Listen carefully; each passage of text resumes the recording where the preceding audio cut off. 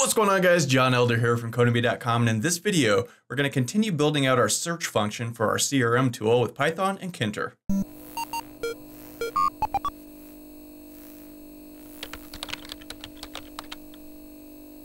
Alright guys, in this video we're going to continue to build out our search customers function, add some different functionality to it and make it work a little bit better. But before we get started, if you like this video and want to see more like it, be sure to smash the like button below, subscribe to the channel, give me a thumbs up for the YouTube algorithm, and be sure to check out Codemy.com where I have dozens of courses with hundreds of videos that teach you to code. Use coupon code YouTube to get $22 off membership. That's all my courses, videos, and books for a one-time fee at just $27, which is insanely cheap, which is definitely going up in the new year 2020 in January. So if you want that low price, be sure and lock it in now. Okay, so we've got this search customers function and we can search by things and one record comes up and that works. But what happens if we have lots of records? So I'm gonna close this and let's list our customers here. Off camera, I added another record, so Mary Elder. So we have two records that have Elder in the last name. So now if we come here to search, and let's see, if we search for Elder, and we search by last name as we built this out in the last video. If we click this, we get just one long thing of John Elder and then Mary Elder starts here and just kind of keeps going. And that'll just keep stringing along to the right like that forever unless we fix that. So obviously that's no good. So we're going to work on that a little bit in this video. So let's go ahead and close this. Now, I could tell you how to do this, but instead I'm going to show you how you can kind of figure out how to do things like this on your own in the future. So let's come to our search customers function. This is what we built out in the last video. Check the playlist if you didn't see it. And we can come down here and this is where we're printing out onto the screen into a label our search result. And the result is just this result variable that we fetched from our database. So what we can do here is just print this out to the terminal. So we're doing this because we want to see what this data looks like. What is the database returning to us? What does it look like? We need to know that in order to figure out how to break it apart. So I'm just going to print this to the terminal with a regular print function, and we can save this. So let's head back over here and run our program again. And now if we search customers, and let's type in elder, and we want to search by last name, nothing changes here. But if we close this, you can see now in the terminal, nothing's changed. But when we end the program, boom, it prints that out onto the terminal. So we can take a look at this and let's see what we have here. We've got these square brackets, and that means that this is a Python list. And inside of the list, it looks like we've got a tuple, or tuple, however you want to pronounce that, for each record. So this would be tuple zero, and this would be tuple one, because list items start at zero, right?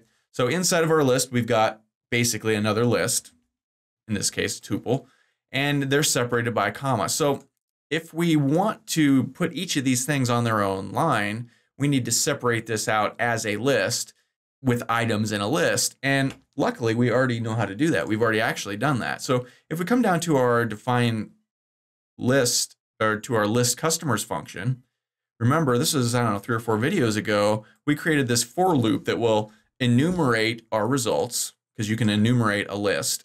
And then we can keep track of the index number in a, another variable.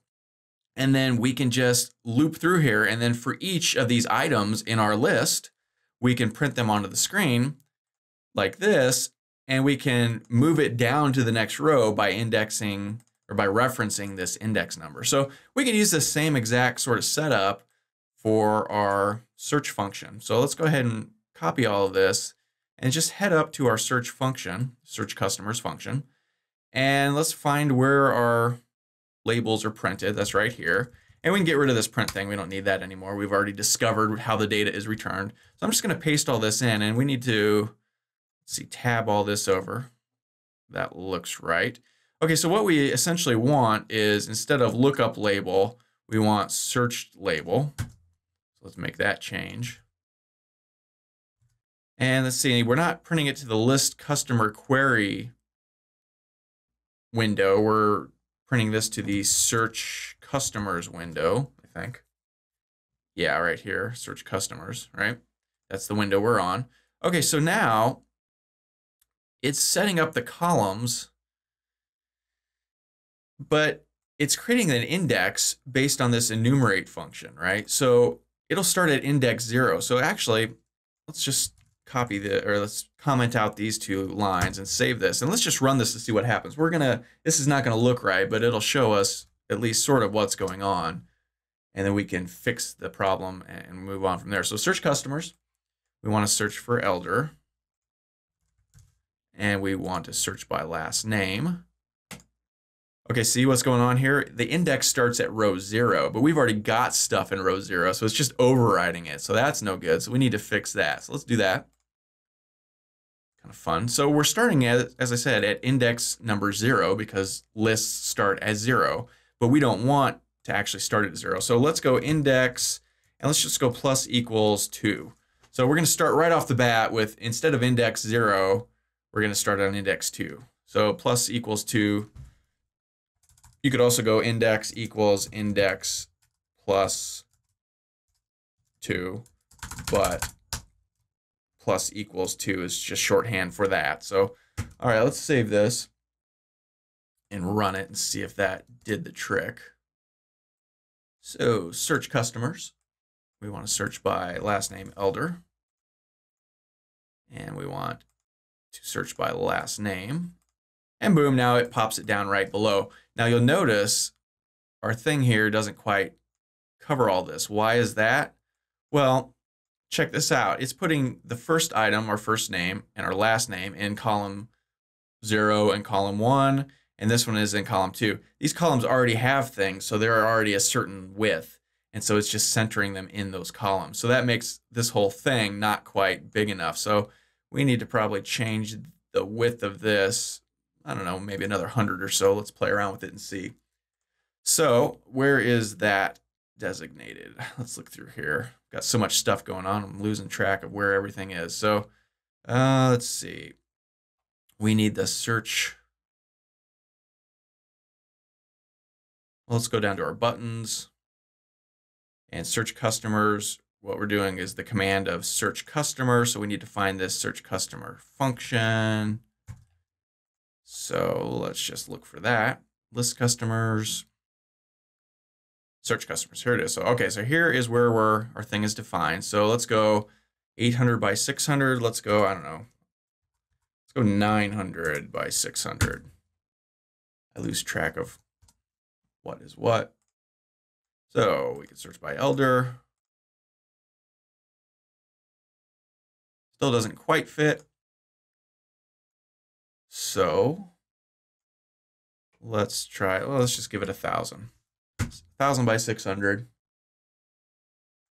Let's run it again. Search customers. Search by last name of elder. Okay, now it all fits.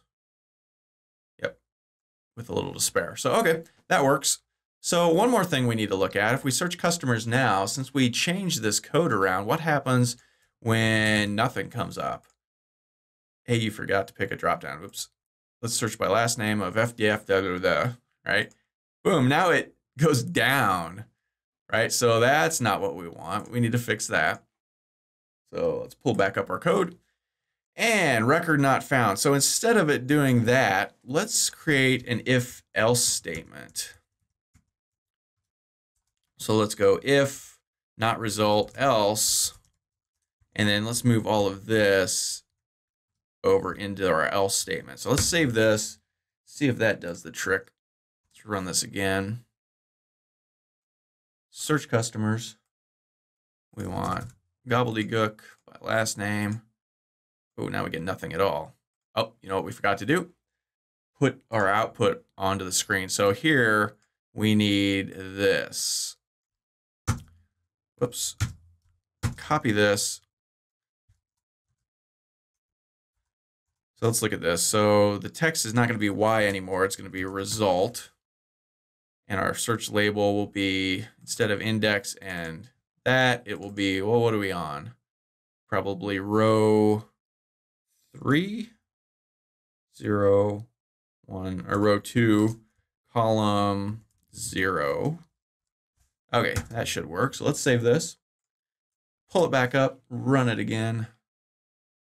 Search your customers. Search by something. Record not found. Search by elder. Uh, last name. Boom, pops it onto the screen. And uh, this is still showing up below there. Maybe we can do something to get rid of that if we wanted to. I'll just leave that to you. It's kind of trivial.